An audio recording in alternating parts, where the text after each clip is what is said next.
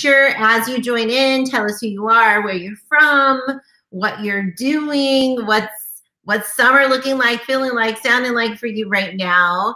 Um, we will remember all those comments, every single comment. So if you like what I'm saying, you could comment on that. If you don't like what I'm saying, you disagree, you can comment on that as well. We take both um, likes and dislikes, and all of them are entered to win um, some real VIP swag. So are you all ready to get started? All right. So remember, oh, I haven't forgot to mention, if you're new to the show, uh, at the very end, I answer one of these random real questions from this book and um, you guys will choose a number and there's 300 questions in each of the books and so i'll choose the one that's most appropriate to answer live from one of those books according to the number that gets chosen. So that's at the very end. It's definitely not uh, part of the real conversation. It's just like a fun way to end the show. And uh, we've been having a lot of fun with that as well. All right so we're going to get started. One of the books that i've been reading um, I've been reading this book, Untamed by Glennon Doyle. If you haven't read this, sorry, I have sticky notes all over the place. I am a sticky note girl. Um, if you haven't read this book, I highly recommend it, especially if you're a woman. Uh, I feel like it's a very empowering book for women. However, if you're a man, I totally suggest you read this too because if you have daughters, or I just think men need to understand like how women need to feel. And then the, message I'm going to be talking about today is not just for women. I think this is for all people. And I also think this is for educators, particularly, because educators really, really, really need to grasp some of the things that Glennon talks about in this book. And the premise of the book is based upon, um, she tells a story at the onset. I don't want to tell the whole book, but she talks a little bit about this tamed cheetah in a zoo. And um, the whole idea of it is becoming untamed. And, and remembering that you like you are a cheetah right? You were born for great things. You were meant for great things. But for some reason the world puts and i'm just using that super vaguely but puts these parameters on us that are so tight and that are so restricting that we almost forget that we are a cheetah. We almost forget who we really are. And I don't know, there's just so much about this book that resonates with me. And I'm just like, yes, that's me. For example, before I go into the quote, yesterday I posted a picture on my um, my regular personal page, well, my page, whatever page that is, the Tara M. Martin page. And um, I posted a workout picture, right? And of course, right after you work out, like you're so big, right? I don't know. That's how it is for me. So it was like a fun one. And I was bent over, hunched over, took this picture.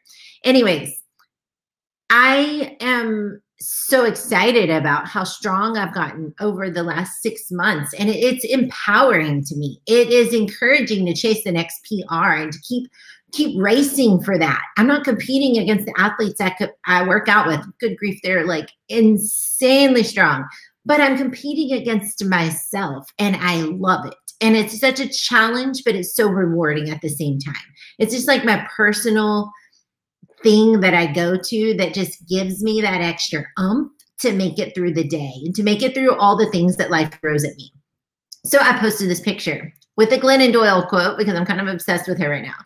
And I got these strange comments in my in my DMs. So it wasn't necessarily strange, and I'm not going to call you out on here. No worries if you're listening. But um, one of them, particularly, there were there were several positive ones, but this like a couple of the negatives. You know, the negatives always stand out. That's just the way it works. But a couple of negative ones that stood out was just like you're starting to look like a man. You looked better before um, that's the one that really stood out to me. And kind of almost makes me like mad and angry, but it also reminds me of what Glennon's talking about in this book. We have, as a society, placed this parameter on people and made them to believe that they have to fit into a certain mold or a certain this or a certain that. This is wrong and this is right and this is inappropriate and this is manly and this is womanly And it doesn't matter. It, the question was never asked, like, how does that make you feel? Are you feeling stronger? Are you feeling empowered? No, it wasn't that. It was like, you look more, you look manly now and you looked better before. Well, first of all, I didn't ask for their opinion. and then secondly, they others don't get to decide what's great for you. Others don't get to decide what's best for you. Same as a teacher. And when I'm talking to you as educators, you don't get to decide how a student rejuvenates. We don't get to decide what their passions are. We don't get to decide what they believe and how they want to pr- proceed with life. No, we we don't get to put those parameters on people because they're cheetahs. They aren't made to be put into a cage. They are made to run wild and free and to do what they do best. And I don't know. That it's just so crazy how we do that in our world. And I won't say how I responded because it was very similar to that. It was just like, wait a second, you don't get to decide. You know, what's beautiful to you may not be true and beautiful to me. And so that's one of the quotes that I pulled out today to talk about what is true and beautiful. And I love this passage. I'm just going to read it real quick. We have a few minutes. I'm just going to read this one little passage. And then I want us to think about, as personally and professionally, what is true and beautiful to you and, and for you and for your life. And then I would love for us to think about it as an educator who is influencing our future, who is empowering or limiting our future, the kids. What is true and beautiful to them, and letting them have that power to decide what that is without us putting limiters on them. So, this passage, man, I had it marked. Oh, here we go she talks about i'm just going to read it to you but she, it's really quick but she talks about we're all bilingual and i was like what i'm not bilingual but she says we're all bilingual we speak the language of indoctrination but our native tongue is the language of imagination when we use the language of indoctrination with its shoulds and shouldn'ts right and wrong good and bad we are activating our minds. our minds are excuse makers. Our imaginations are storytellers. So instead of asking ourselves what is right or wrong, we must ask ourselves what is true and beautiful. I love that. I don't know. I'm interested to hear what you guys have to say over in the comments, but I love that idea because what is true and beautiful to me might be different than what is true and beautiful to you, but all need to be respected and all need to be valued and all need to be appreciated. And I just, there are so, I mean, Melissa said, that's a mic drop. I agree. There's so many mic drop moments in this book. I love it so much. But that is just one thing that just really gave me goosebumps. And it made me think, um, you know, if we really want to empower our learners, to go out and to be their real self and to embrace their real identity and to do what they were born to do, to be the cheetahs they were born to be, we have to adopt this mentality of what is true and beautiful to you, asking them and letting them proclaim that and believing in it with them instead of telling them that they have to fit inside a mold that some man created some woman created, some human created for them because that's not what was meant to be. And and that's what untamed to me is all about. It's about unleashing who you really are and being that to the fullest extent of your being and and really living a fulfilling life. Um, at the end of that chapter, she says, um, we need to remember and unleash this life changing, relationship changing, world changing power of our own imaginations. Because really, if you think about it, when we were kids, we were very imaginative. And somehow that stuff got squashed out. I don't know how or why or when, but I really think it was all these limitations that got put upon us, all these opinions that got thrown at us. Like, you looked better before. Like, you shouldn't do that anymore. Well, guess what? I'm not going to stop And and the reason I'm not going to stop because I know who I am, right? And I know what makes me feel true and beautiful. But here she goes on. It might take us a lifetime. And luckily, a lifetime is exactly how long we have. Let's conjure up from the depths of our souls the truest, most beautiful lives we can imagine, the truest, most beautiful families we can fathom, the truest, most beautiful world we can hope for. Let's put it all on paper. And she basically says, let's make the invisible order become visible. I, y'all, that's just kind of what's on my mind right now. And it's kind of like I actually got to feel this message a little bit yesterday with those comments. Um, and it just made me think like that is what we do as society. Um, there's so many times we just push our opinions on other people and we actually stifle their growth and we cause them to believe that what they imagined to be true and beautiful isn't real. And and the truth is it's just the opposite. That's real and what we're pushing on them is fake because we're making them fit inside a box that they were never meant to fit inside of. We're making them be caged up, right? And we're not allowing them to run free. So, yeah, whew, I feel like this is like a little sermon, but honestly, if you haven't read this book, I highly recommend it. Every page throughout it is highlighted or sticky note. You saw the sticky note sticking out of it it's very empowering. It reminds me of just being real, honestly. It, it just reminds me again that it's important that we stay true to who we really are. So I'm going to look over here and see what you guys have to say. this is kind of deep. I know. I need to lighten these up a little bit. Last week was deep. This week was deep. Sorry. Um, I haven't gotten to the Alicia Keys chapter yet. I love her though. I'm super excited. Um, this is a great book. I feel um yeah. Yeah, yeah. Exactly.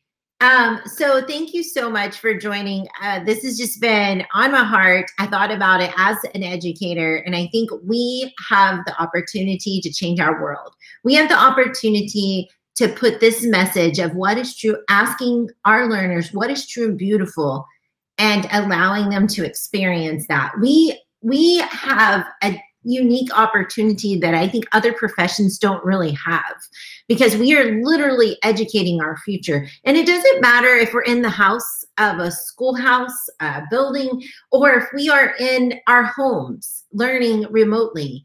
I'm teaching remotely today. I'm talking remotely today. And guess what? It's still having an impact on people. So we can do this. We can help our learners embrace and become untamed cheetahs that they were meant to be. We can do this. And I think it's our duty to do this too. I mean, it's a tall order, but not really. It's almost releasing control. It's releasing that belief system, that indoctrination that we have in our head that it that is the only way and that's the best way. And so, yeah, it's just kind of my thoughts today. Uh, let's see, we have a few comments over here. While you are listening or commenting, please do drop a number one to 300 over in the comments. Um, just any number, any random number. I'm going to choose a question and answer it. And this is always the scariest part of this show, but I love it too. I like the suspense, but I also get really nervous about it. But uh, drop a number over there while we're reading some of these comments. So as um, educators, we need to help our students be true to who they are, especially those middle schoolers. Exactly. You know, middle schoolers were on my heart when I got that message yesterday. I thought about that and I thought, man, I've worked hard to, you know, gain. I'm not really working on gaining muscle. It just happened you know, like right after you work out, you're just pumped. And so it's just a great time to take a picture of big muscles, right? But that's not, that wasn't my end goal. My end goal are all these personal records that I'm setting, right? And when I got that comment that ticked me off, honestly, I thought, man, if I was in my middle school self right now, I would stop doing what I love because I don't want to look like a man. And everybody thinks that I might look like a man. Everybody, notice that? I just put that one comment into everybody. And that's what middle schoolers do. And I think that's what children do. We're molding them, we're shaping them. We say something And they're like, if my teacher believes that, it must be the opinion of the whole entire world. Like, I've definitely got to adopt this opinion. And that's where I think we have a lot of power as educators to be able to help them to go back to their first language, imagination. Imagine those dreams. Imagine that what is true and beautiful to you and go and do that thing. And let me help you get there. That's that's the mindset I think we really need to have. Yes, we got to keep those cheetahs alive and uncaged. And uncaged, we got some numbers coming in. Oh my goodness. Oh my goodness. Okay. So I think it's time for our question. We kind of gone over a little bit.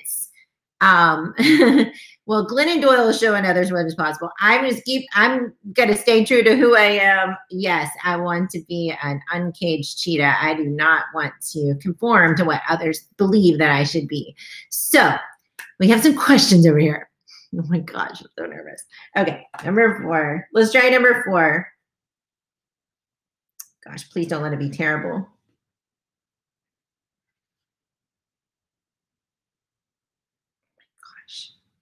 Okay, let me try this number four. Let's see what this one is. If not, we'll go back to that one. Ooh, I like this number four better. Okay, here we go. You ready? You have an unlimited you have unlimited money for a 24 hour vacation. Where would you go and what would you do? So you guys get to answer it too. So we have unlimited money for a 24 hour vacation. Where would you go and what would you do? Oh my gosh, unlimited money. I don't even know how to think in those terms. But if we're unleashing what is true and beautiful, let's let's just think. Let's think big. So I think I would go. I don't know. I want to go overseas. I want to go out of the country. Um, also want to go like near an ocean and I don't know exactly the place I want to go. Somewhere beautiful, oceanside, out of the country, because I've only been out of the country once. And I want to, one thing I really want to do is skydive. I know that doesn't cost a lot of money, but I still want to do it. And so I want to do it over the ocean because I think if I land in the ocean, I will be more safe than landing on land. that's that's my thoughts anyway. Um, I want to do, yeah, I would eat a lot of seafood. I love seafood. So I would probably have some salmon and some mahi mahi. I would soak my toes in the sand. I would go to fancy dinners at nighttime where you have to dress up in like formals. And yeah. And then during the day, I just live in a bikini out on the beach. Like, I don't know that I would need a ton of money to do that. Oh, uh, another thing I would like to do is take a helicopter ride. So maybe like if we just wanted to go visit somewhere else, we just get a helicopter and just take helicopter rides. So that would kind of be like expensive, I'm sure. I can't even really think in uh, realms of a lot of money because I just don't know. But the house I would like to stay in or the condo I would want it to have a pool, a hot tub, um, room service. I wouldn't want to cook it all, just have food always brought to me and exact amount of ma- macros that I need for the day. yeah, what are y'all thinking? oh, the keys. Yeah, that sounds beautiful. That sounds beautiful. Travel would take most of the day. Oh, that's true. So maybe I need to go somewhere local. maybe I need to go somewhere local so I can get there pretty quick and enjoy the day. Um, I don't know that I would need a ton of money. I just want to go near a beach. And yeah, I do want to skydive. I kind of want to parasail. I never tried that before. I just love all things near the ocean. To me, the ocean waves are just so soothing. And I find that I can write for days. So you guys know I love to journal every day. I can write for days by the ocean. It's like the the sound of the waves are just my motivation. They just like fuel my soul. And so, yeah, I would love to live near the ocean one day when I retire. So, yeah, that's kind of my thoughts. Anyways, whew, that wasn't too bad of a random question. The other one was a little more risky, but it's okay. We can we can try that one next time someone says number four. All right. Well, think about, thank you for joining us. Please do think about what is true and beautiful to you. uh, in your life, in your world, in your profession, in your personal life. And, and then what is true and beautiful? Let's ask that question to our learners and let them explore and let them imagine what they dream their life to be. And then we, we need to help them set some action plans to reach those dreams because that is what will make this world just a much more beautiful place. Thank you, Glennon Doyle, for your amazing book. I'll be sharing tag her up in the comments. I don't know if she ever sees this, but um, I would love to meet her, honestly. Maybe she could be a guest on the show one day. That would be epic.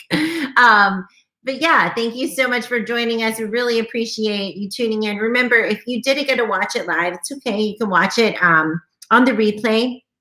And on the replay, you still have opportunities to win real VIP swag over uh, just by commenting over in the comment section. All the comments that are uh, left there before uh, 12.01 p.m. Central Standard Time today will be entered to win those prizes. And I've been shipping them out each week. Have some more swag coming in, so I'm excited about that. Anyways, have a rockin' week. Have a rockin' day and think about what is true and beautiful to you. You don't have to be caged into what society has told you um, or made you believe is your best option you can be you. You can be real. And that's what this is all about. So have a great day. Have a rocking week. I'll see you back next Thursday. Bye, everyone. Have a great one.